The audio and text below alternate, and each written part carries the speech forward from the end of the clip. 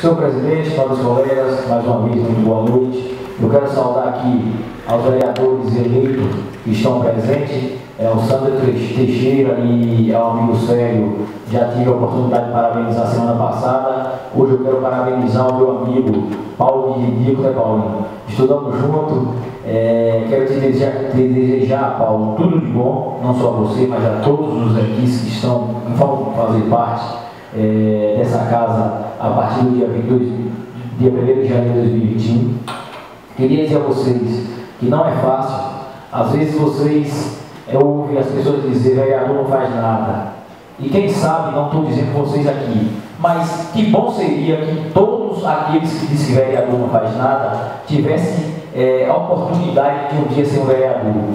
Eu costumo dizer assim, às vezes eu brinco com o povo e dizia, rapaz, eu tinha vontade que a eleição para vereador fosse a cada seis meses, que era para a gente votar e com um único mandato, para a gente, todo mundo ter experiência de passar por um vereador.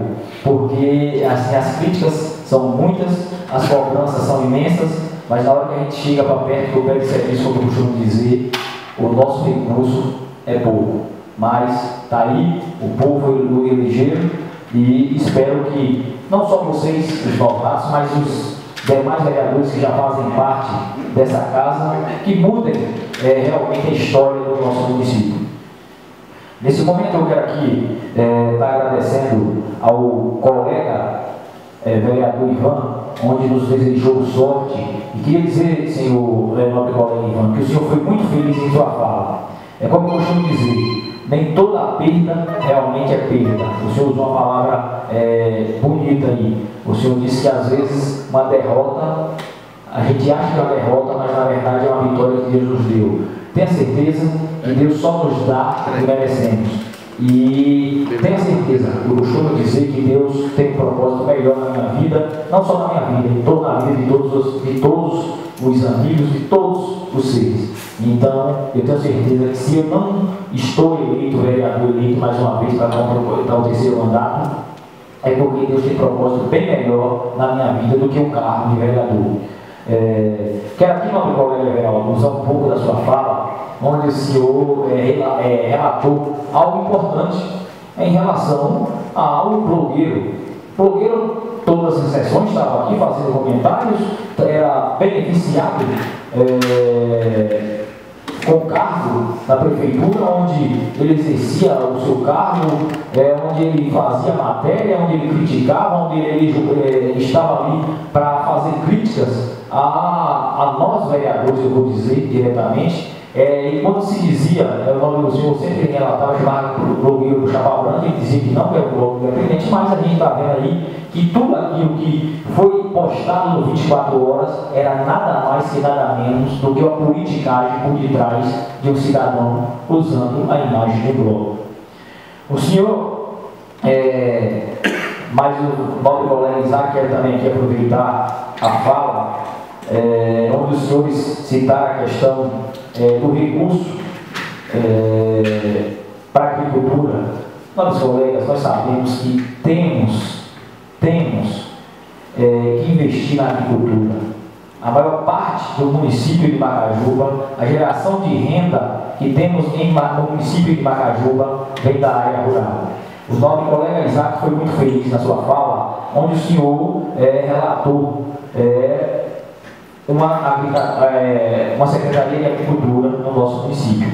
Vamos ver, vamos tentar é, buscar recursos e eu tenho certeza, uma Secretaria de Agricultura firmada no nosso município, as verbas que vêm para o município vai ser bem maior, quando eu falo as verbas que vão vir, eu estou citando o governo federal e o governo estadual. E as arrecadações também do município vai ser bem maior.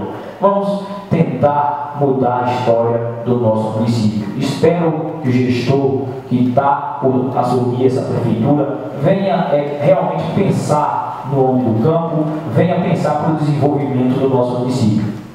Nobres colegas, é, eu quando relatei, aqui quero até falar para os colegas vereadores que eleitos pela primeira vez, relatei a questão do, do, do, salário, que eu votaria contra se eu estivesse eleito, eu votaria contra por quê? Porque eu ia assumir uma responsabilidade.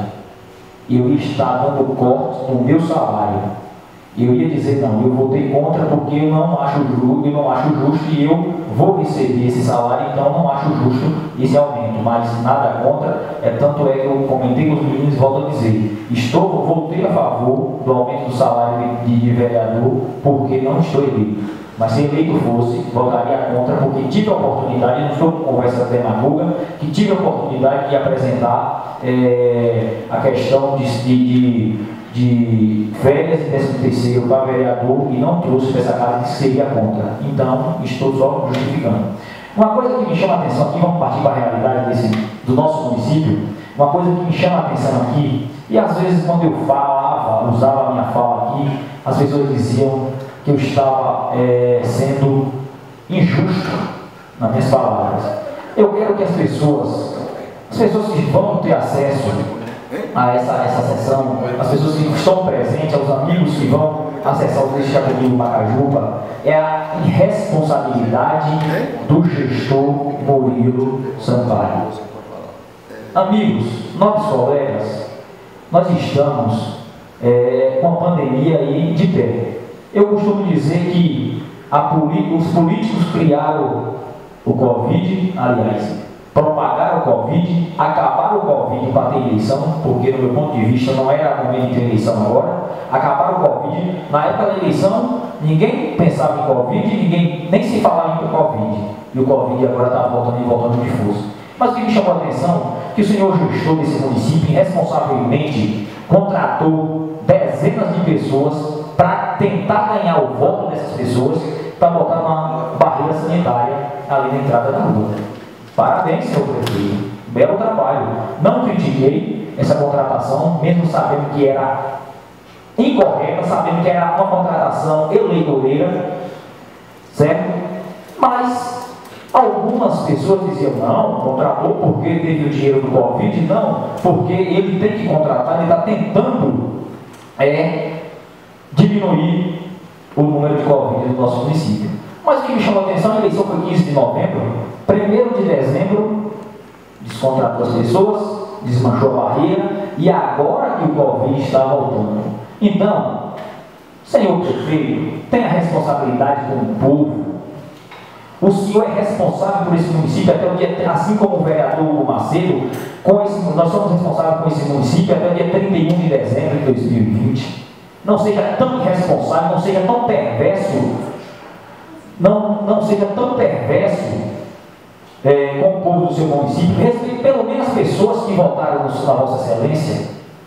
O senhor teve um número satisfatório de votos, já que o senhor, não, já que o senhor não, não tem respeito com as pessoas que votaram contra o senhor, respeite as pessoas que votaram no senhor. Porque o Covid não está aí só para pegar em quem votou no senhor, está para pegar no senhor dá para pegar no vereador Macedo e qualquer, qualquer pessoa que seja.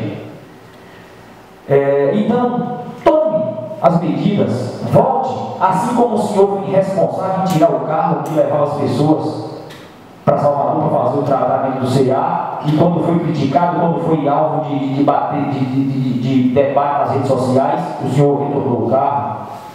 O gestor, nós políticos temos que saber que nós estamos à disposição da população eleito ou não reeleito, mas até o dia 31 de dezembro temos compromisso com o povo.